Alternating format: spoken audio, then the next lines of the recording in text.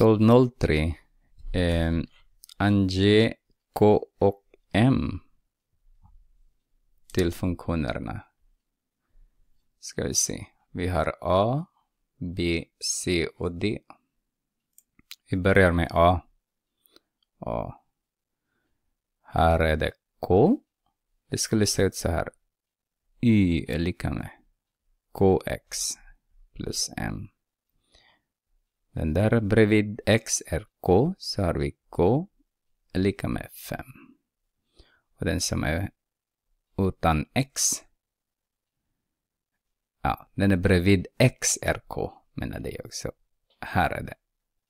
Bredvid X är 5, så K är 5. Och den som är konstant är M.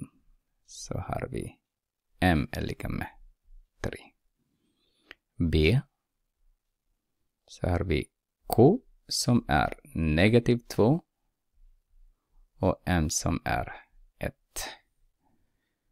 Eh, C är K som är, om den säger ingenting, det ska vara 1, så K är lika med 1.